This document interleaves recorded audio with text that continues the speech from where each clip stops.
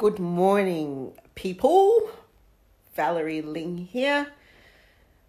Let's just say I'm Valerie Ling here. Good morning.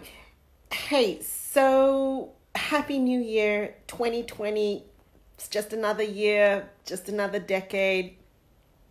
Not a big fan of resolutions. However, because I um, am all about making sure that we all launch the year uh, with that thinking that doesn't contribute further to us dragging ourselves down because most of us, let's face it, by March, a lot of our well intentioned self care plans and thoughts about how we're going to be refueled are probably going to be quite challenged.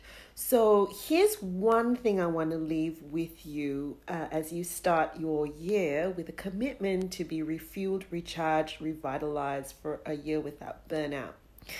It all starts up here. The two key scripts that will undermine our efforts to remain uh, burnout proofed is one of perfectionism, unrelenting standards, and the other is a tendency towards self sacrifice. Now, I want to speak into the self sacrifice uh, scripts that run into our head. You see, uh, when it comes to being burnout proof, it's not what you do necessarily, it's what you're not doing.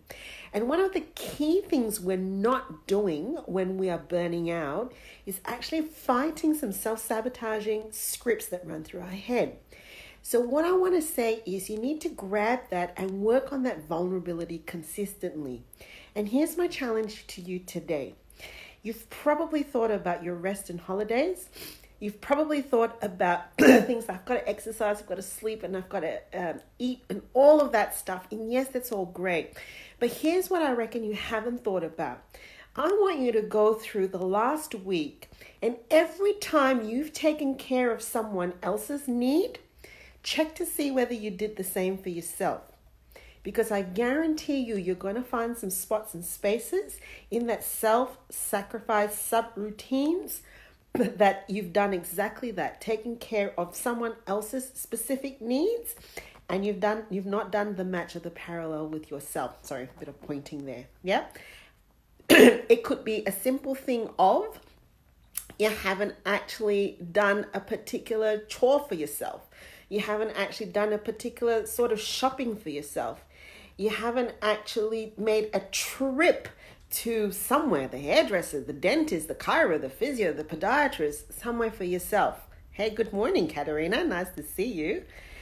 Do a quick checklist of the last week, and that will certainly highlight to you where some of your burnout leaks are going to be for the rest of the year. And then you know what? Make a plan, put those things in, meet that vulnerability head on, take care of that self sacrifice scheme straight away. Catch you later.